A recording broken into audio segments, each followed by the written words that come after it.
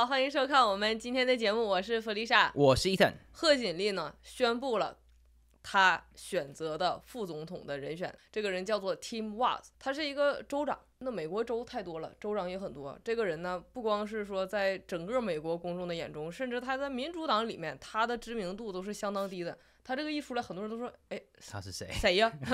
就大家都不是很了解，说他是谁哈。所以我们今天就是来研究一下，说这个人他到底是谁，然后他在他从政的生涯当中，他都做了些什么？他跟贺锦丽搭档啊，这俩人能给美国带来什么样的灾难？我们今天一起就来看一看。首先来看这个 Tim Walz，他是谁呢？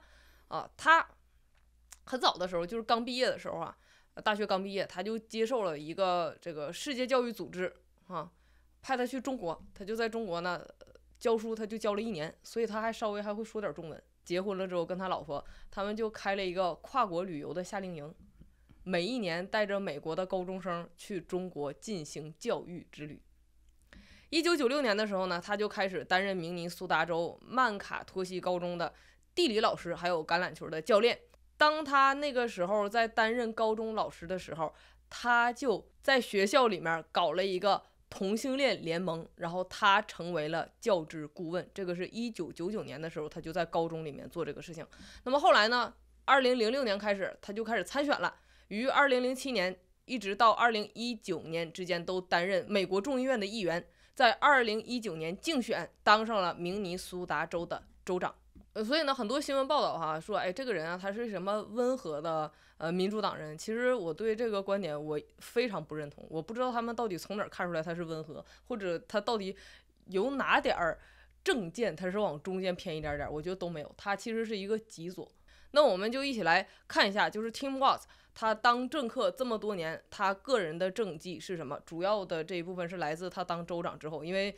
州其实就像一个小国家，对不对？我们就看到他如何去管理这个州，他把这个州管理成什么样，你同样也可以 apply 到美国。就是这个人如果他当了美国的呃大官儿、副总统这样，他会把美国往哪一个方向去带？那第一点呢，就是在他们那个州，越来越多的穆斯林。然后他就他虽然自己声称了说他是去路德会聚会的基督徒，但是相信我，他跟基督徒一点关系都没有啊，就是。他或许受过洗，或许怎么怎么样，这只是他表面上的一种说辞。但是你看他的所有的行为举止，他跟基督徒一点关系都没有。那么他在从政期间呢，是极度的追捧穆斯林啊。他曾经在一次录影当中，他还觉得自己特别幽默，他就把他后面那个明尼苏达州的州旗给换成了索马里旗。为啥呀？因为他们州里面有很多从索马里来的穆斯林，所以呢，他这么做就说：“哎呀，我让穆斯林感觉到。”回家了，有一种回家的感觉。我们来看一下视频。All right, ready. Whoa, wait a minute.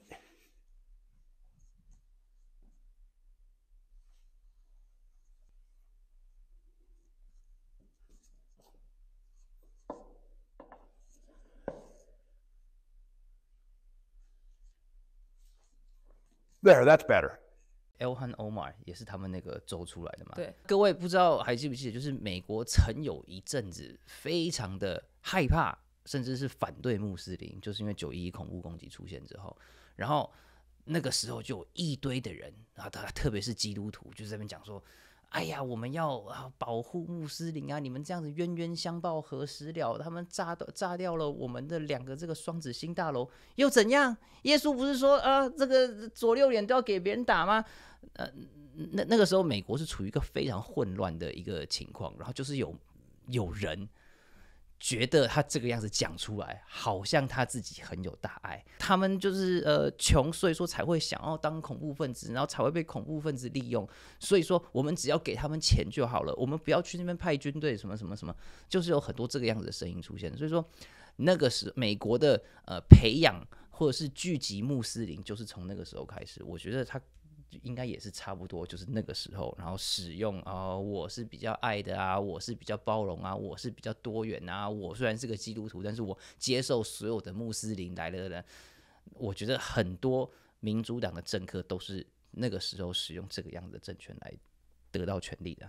而且你记得吗？就是我们之前有报过一个新闻，就是在明尼苏达州有一个城市已经变成了穆斯林的城市了。哦，对，啊，市议会上面会广播，每每一天对。每每一天就就在那边播，就嗡嗡嗡嗡，就就在那边开始播，这就是他呃所在的州所有的城市哈。那么除了这个之外呢，在他的执政下面，你可以看到明尼苏达州变得多么荒凉。下面我给你看一段视频，你会以为说这是第三世界国家的战场吗？不，这是明尼苏达州。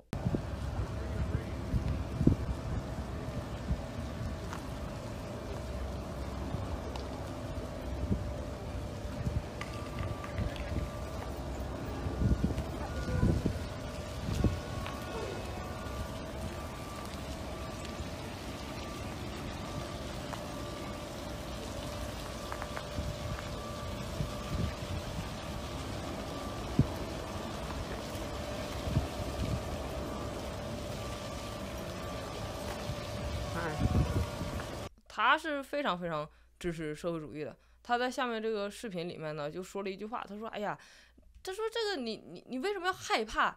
就是讲出我们这么先进的价值观呢？你为什么不敢表述我们这么先进的价值观呢？”然后他又接着说：“他说这个对于某一个人来讲，说哎这种行为可能是社会主义，但是这种行为呢，对于另外一个人来讲，这可能就是邻里友好的象征呀。”爱你的邻舍，But we can get out there, reach out, make the case. And for one thing, don't ever don't ever shy away from our progressive values.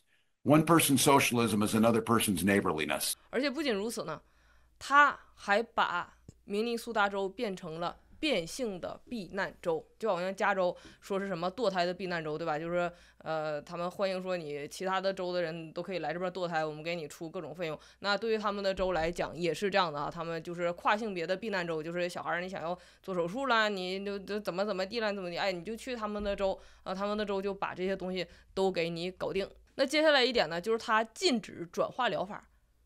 禁止转化疗法啥意思？转化疗法其实我们之前在节目里面讲过挺多次，可是每每一次一听到这个名词都有点懵。就是啥叫禁止转化疗法？就是有个人他就是小孩儿，他就是啊我我要切我要切我要变性我要变性，你这个时候就不能跟他说，就说你等等，其实还有另外一条道路，你不必要这样做，啊，你的性别是可以回到正常的原来，这种话你不能讲，你讲了你就得进监狱，因为你在转化它。就是人家说了，人家要切胸部啊，女生就说自己非得是男生，然后说不是，其实你就是女生，我可以来帮助你，你可以恢复到正常的家庭，你可以有小孩，你可以结婚等等等，你不能跟人家讲这些，因为这是转化疗法啊，所以就是你不可以帮助任何 LGBTQ 的人恢复正常，你你也不能给他们传福音，就说你相信耶稣，神可以医治你，这些东西都不可以讲。还有就是堕胎，他对堕胎是一个极其开放无比的这样的一个政策哈。And my record is so pro choice. Nancy Pelosi asked me if I should tone it down. I stand with Planned Parenthood, and we won. 他在二零二三年一月三十号签署了一项堕胎的法案，说允许在分娩的最后一刻堕胎，最后一刻最后一刻就是小孩的头已经在那个地方了，嗯你还可以，杀死他。哇哦，而且呢，除此之外，他还签署了另外一项法案，就是说，如果说我要去堕胎，对不对？结果一堕胎之后，你把小黑拉出来，呀，没死，活着的，你就让他死掉，这样的就我们之前也听过，以前曾经在医院工作里的人，是。然后他们小孩生下来活着的，但是爸爸妈妈不想要，他们就把它放在、那走廊边对，然后让那个小孩哭啊啊啊啊啊啊，然后哭到最后就没声音。他就他他就是在那儿死了，就是要不然他就是冻死了，要不然他就是饿死了，要不然反正你不知道他怎么死的，他就是一个健康的小孩儿，你就丢在那儿，然后人就是这样来来往往就这样走，没有人管他，然后他你就把他放那儿，你这样出生婴儿你不照顾他，他可能很快自己就会死掉，嗯，然后就死掉了。那除了我们讲到这些问题，你就你就想吧，就是所有左派拖的推的这些东西，他全部都是大力的支持，什么开放边境啊，什么禁枪啊，什么乱七八糟这些东西，他都是完全支持。所以我非常反对管他叫做一个什么温和的民主党人。你就想想，卡马拉 Harris 有几个人会疯成他那个程度？他选 VP，他会选一个非常温和的民主党人吗？不会的，两个人都是非常极端。呀，现而且现在在民主党里面，你基本上是你不可以当一个温和的民主党人的、就什么叫温和的民主党人？像说 John F. Kennedy，他是温和的民主党人，他有一些保守派的理念，然后呢，但是他支持呃某层面的大政府，某层面的这些 progressive 进步的议程，这种东西叫做呃温和的民主党人。你现在在民主党里面，你当一个温和派，你只要一说，呃，或许呃，conversion therapy 就是这个呃，转换疗法，对他或许这个样子对对人是好的哦，不行，你只要一嗯讲出来，你就会被骂。然后呢，就是你你你连质疑都不能质疑，你连怀疑都不能怀疑，你连问问题都不能问问题。你只要一问，你就是歧视，你就是贬低其他的人，你就是自大，你就是自满，你就是基督徒。所以说，呃，他们在民主党里面基本上已经没有任何一个温和派了。我们之前那个在选加州这边的那个参议院的时候，有一个华人，他就自称是温和派的，但是你看他的证件全部都是极左，你还不如就直接说你，诶，你就是共产党。但是他们在打广告的时候，他们都会说，哦，我是中间派的，我是温和派的，我跟那些人不一样。但其实他们所有的议程还有所有的方向，其实都是一模一样的。那下面就是来讨论一个问题，就是你觉得哈，Kamala Harris，呃，选择这样一个 VP，他会给整个民主党在大选的时候带来加分吗？我觉得一点都不会。不会吗？我觉得不会，因为、呃，Kamala Harris 之前也讲过，就是他就是 DEI hire，然后他就是因为他说他是黑人，所以说他怎样怎样怎样，然后他支持所有极左的一个这个东西，那这个人出来。并不是中间派的，他也是个极左，大家都知道他是极左，所以说，呃，你说民主党要在乎他自己原本就已经很铁的、很固定的票仓吗？其实并没并并不需要，他们就是会投民主党。我认为民主党想做的事情，只是万一他们输的时候，这些人会起来抗议，然后会起来造反，就会起来乱，因为他们就想要培养这些人变成一群呃愤青，然后呢一天到晚想要打砸抢，然后呢想要去做很多坏事，然后觉得说自己是正义的，他们想要把这些权柄给这些人，所以说呃这个人我我听起来嗯，我不觉得会给他带给是多大的多少的选票，我觉得会，你觉得会？嗯，因为呃，鉴于我们做节目这么长时间，对观众的观察，呃，我发现人们会比较喜欢什么样的人。也当然也不是说从观众来，就是你从呃往届的选举来看或者也好，其实人们根本就不知道你站那里你讲的到底是什么，啊、人们不知道你讲的是什么，y e s 他们不知道，根本没有在听，他看的只是一个样子。所以我就说，人会比较喜欢他的原因是，如果你看他讲话的样子，你知道，一个老头看起来很像个爸爸，他们现在给他的塑造的形象，就啊，他就是一个老爸，他是一个农村人，从乡村出来的，他很懂得生活，他懂得什么什么，他懂得这个，懂得那个，给他塑造整体一个形象是这样的。他一穿上西装，一打领带，人家就说：“哎呀，老爸穿西装了。”就是就是有种这种感觉，他们想让他有一种亲民的、亲和的这种感觉。那你这个东西当然不光是说这个人他本身的形象，就是他站在那里看成什么样子，其实更多一部分是取决于媒体，对，也就是说媒体美化他，就美化他，你就说，哎呀，你看他好亲民呐、你看他长得就像我们的爸爸，所以他就是更了解我们的需要。所以其实人的耳朵都没有在听的。你不管是问共和党的人，或者是民主党的人，其实你问很多人，就说，哎，政策是什么？他们其实都不知道，对，他们听了也没听进去，你你知道吧？他他他根本他不知道，他只是就是一开电视，他就一看这个样子，或者一刷手机看这样子，一看一个老头儿，呃，穿个西装，然后卡玛拉·海尔斯一个女的在旁边一笑，然后他也一这样，他就说：“哎呀，这个搭档不错呀！你看那个那个共和党那边怎么搞两个男的，什么什么的。”他只就是一些这样的东西，就是说，哦，那我我觉得一个男跟一个女的，他们可能会比较平衡，就是只要这样愚蠢的想法，他们就可能会愿意去投那个东西。我觉得，而且他说话的时候看起来感觉很正经。嗯，他说话的时候感觉很正经，他看起来也，他讲话的时候你听语气什么，他也没有说那么极端，就是你会觉得说他是一个感觉自己很正义的人，边上人在意拍手，在意鼓掌，媒体在意宣传，就是他是一个正义的老爸爸的这样的一个形象，所以。他讲东西老百姓听不懂，老百姓根本就不想要研究什么堕胎不堕胎、经济不经济，什么乱七八糟的国际形势，什么乌克兰、俄罗斯，什么以色列，大都不想知道。他们就唯一能听懂就是自由。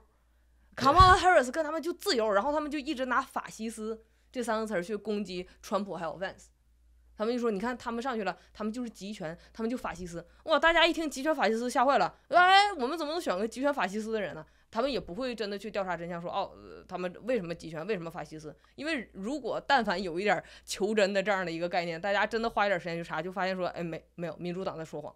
但是绝大多数人他们不会这么做，所以我觉得像这样一个形象来讲的话，然后对于选民一般的这种心理层面的了解的话，我觉得是会加分，因为他们会觉得说，哦，你看这有一个很靠谱的形象。你再反观那个川普是吧？他们就觉得川普一天大嘴巴胡说八道，你再加个 Vance，Vance 又说了，哎呀，女的不生孩子光养猫，对不对？而且而且我看到很多攻击 Vance 的说他说什么，说你看这 Vance 是不是化妆了呀？你看他那眼睛是不是像画了眼线、涂了睫毛膏似的？很多人就说：“我告诉你，Vance 他绝对就是个同性恋，他就是在那装。我说你就越装的人，他其实他里面他就是个同性恋。越 gay 哎，对，哎，越装他越同性恋。那你知道吧？就是大家现在 恨自己，对，原来讲讲讲都讲讲成这样了，就是为什么？因为其实人们缺乏非常基本的教育。那这些教育呢，在家庭里面没有被普及到。在学校里面，还你也不能让学校普及，因为学校的根本就是谁执政他就那个，对吧？也不能让学校普及到，所以人们缺乏这种最基本的认知，还有最基本的教育，然后人们也缺乏这样的一个责任的感觉，就是说我真的要为我手中的选票去负责。负责任，就是说我今天有这样的一个呃 rights 权利，就是我今天有这样一个权利，这个不是白白得来的。如果我乱投票，如果我没有去了解真相，我就随便去投票的话，我们的国家会变成什么样子？大家没有这样一个基本的认知的概念，所以呢，很多不管是左派还是右派，绝大多数的人都缺乏理性的思考，以及他们没有圣经价值观的基础。也就是说，他们哪怕就算去了解了之后，他们或许也做出非常错误的决定。对就是就是因为他们自己根本就不知道什么是对的，什么是错的。那你往往去看这些人，呃，很骄傲的、很自以为是，说我能掌控我自己的人生。绝大多数他们的人生都是非常苦的，因为他们一直在给自己的人生选择错误的方向。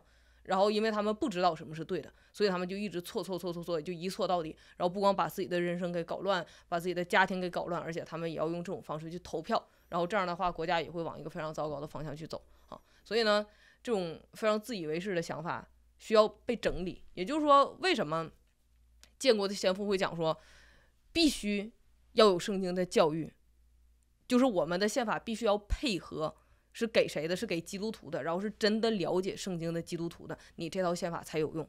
不然的话，你立啥法律，啥都没有用，Yeah，啥都没有用，就是就是这样。呀，就跟呃，你刚刚就是 John Adams 说的嘛，对然后还有呃，Thomas Jefferson 那时候讲的就很那个，他是非常反对民主的，美国建国国父基本上都是反对民主的。John Adams 还说，就是你如果要相信民主的话，你如果觉得民主可以呃拯救什么话，你就呃你只要呃最好反对民主的 argument。就是你出去跟 average voter 讲一句那个讨论一个小时，你说他就说你只要出去一个小时，你就可以发现民主会呃让一个国家崩溃。我觉得呃这句话听起来很好笑，但是是个事实。嗯你记不记得我们才刚开始的时候，嗯我们在说什么？哦，谁谁谁要参选参议员，加州的参议员，然后有个人就特别打电话给你，就是说你是不是说错了？参议员一周只有两个哦。然后现在参议员是 Dianne Feinstein，然后什么什么什么，对，就说你怎么你怎么还那个参议员呢？对，然后我说啊，对啊，州有州的参议员呢。你说的是去联邦的嘛？我说州也有州的参议员啊，州还有州的参议员啊。对，我说对啊，州也有自己的议会啊，他也有 Assembly 还有 Senate。然后他还是就是呃基督徒群里面比较有关注政治的一个，对啊，他人就很热心呐、但是就是非常基本的知识是比较缺乏。他当时就是不太知道。我说完了之后，他还不相信我，他说那我去查一查。后来查完了说，哦，对对对，原来真的那个州议会里面还有参议员这样的位置。嗯，对，所以说呃一般的美国的人的知识，还有对于现在美国政府的运作模式，不是美国一个政府一直以来运作模式，各个州的运作模式是非常模糊，然后非常不知道自己在干什么的。你这样一讲的话，我的确也同意，好像只要他的形象好，只要他的这个讲话态度很温和，只要像奥巴马一样，或者是怎么样，这种哎，everyone，呃，对然后大家就会觉得说，哦，this is a pretty good guy。如果他要是再加上一点，就是如果他再带点幽默感，啊他，才会讲一点儿笑话。很多人喜欢奥巴马，就是觉得他形象挺好，是不是？那个又高又什么，风趣幽默啊，然后彬彬有礼，看起来对不对？但是我们都知道，就一个人的本质，你要看他去做什么事情，而是跟他外表展现出来什么样一点儿关系都没有。所以现在我们呃看到能做的是什么？就是我觉得真的不要轻敌。很多时候我们看到川普得到了很多的胜利，然后共和党得到很多胜利，我们会觉得非常高兴。但是你你这个时候你也不能说就一高兴了翘尾巴啥也不干了，因为我们看到呃清醒的人也不是很多，然后能够按照真理去分辨、去判断或者去投票的人其实并不是那么多。所以我们能做的是什么？就是我们首先能做的就是一定要叫基督徒起来投票。如果你是基督徒的话，因为我们都知道，基督徒跟基督徒之间说话还是稍微比较简单一点的。为啥呢？因为我们有相同的一个特点，就是圣经。你不管你你已经受洗成为基督徒了，很多人他或许没有读过很多圣经，但是你问他说你同意圣经吗？是绝对的真理吗？他他他他也同意啊，虽然他也好像也不太知道圣经里面讲什么，但是他也同意啊。所以我觉得我们就是基督徒跟基督徒之间，我们是有 common ground。虽然很多人他不要参与，他没明白，那只是他现在暂时没明白而已。但是我们必须要叫有投票权的基督徒起来去投票，因为我们的 common ground，还有我们都侍奉同一位神。所以这个是我们必须要做的。那当然了，我们要呃借着各样的机会，不光光是跟基督徒来讲，如果说你身边还有其他的好朋友，不要害怕，现在剩这几个月的时间，尽你的能力去跟他们讲，然后告诉他们为什么。如果他们不相信圣经，OK，你可以不用圣经的角度来讲，你从经济的角度来讲，你从各种角度来讲，你都是知道民主党正在破坏我们的国家。要跟你的孩子传福音。呃，每一年都有好几百万的年轻人，十八岁，然后二十岁，他们可得到以投票。投票权，对啊、嗯，如果说你看呃我们美国的投投票史的话，嗯你就会发现一年比一年的左，一年比一年的左，左派的人数一年比一边一一年的多。为什么？我们可以怪学校，我们可以怪什么啊？他们就是把我们的小孩培养成那个样子，然后什么？其实最重要的就是我们当父母的，还有我们在教会教主日学的，我们没有注意到我们孩子变成什么样子。嗯如果说每一个教会都是用圣经的真理去教导孩子的话，如果说每一个家庭都有一个家庭祭坛，然后每天祷告，带着小孩信主，然后知道神要给我们的道路的话，第一个父母会变得更刚强，第二个小孩会变得更有道德价值观，而且不会被左派这样子去洗脑。美国会一直往下掉，美国会一直不断的败坏。最重要的原因就是因为我们的信仰没有传承。各位要知道一件事，就是美国在建国的时候是一个非常属灵的一个国家。每一个建国国父都是基督徒，每一个建国国父在这个制宪会议里面讨论的东西，你知道是什么吗？就是讲说我们这条法律符不符合圣经？我们这条法律有没有冒犯到神的律法？我们有没有用神的爱人的方式来去治理我们的国家？他们是以这个样子的方式来制定我们的法律的，我们的宪法的。现在，当我们一代一代没有这个样子的教导的时候，当我们每一代都是变得越来越那个啊，信仰是信什么都可以啦，这里的自由啦，OK，哎呀，我们美国是这个这个这个呃多元包容平等，哈哈哈哈哈，就是会变成这个样子。我们就是会，我我觉得圣经里面他说神是探查人心的，不是看外表的。我们绝大多数的人就是看外表的，我们绝大多数的人很容易被政治人物，还有一个人的形象，还有他说出来的话，啊觉得说，哎呀，你这个人就是这个样子，什么什么什么什么什么什么。我们当基督徒的，我们必须要看一个人的方式，就是他结出来什么样的果子。他这个州长结出来的果子就是 Minneapolis 那样子的果子，就是全部都变穆斯林，然后呢，在那个打砸抢收，对我们常常会被呃一个人的外表还有一个人的形象骗到，但是这一次我们唯一能拯救我们的方式，真的就是把圣经的价值观传给每一个人，包括我们的小孩。嗯，对，所以我们知道我们有一个得胜的关键。我想说，也不应该叫它得胜的关键，就是唯一、唯一、唯一一件我们需要在意的事情，就唯一只需要在意这一件事情就好，那就是在诗篇四十四里面告诉我们的，说神呐、你在古时我们列祖的日子所行的事，我们亲耳听见了，我们的列祖也给我们述说过。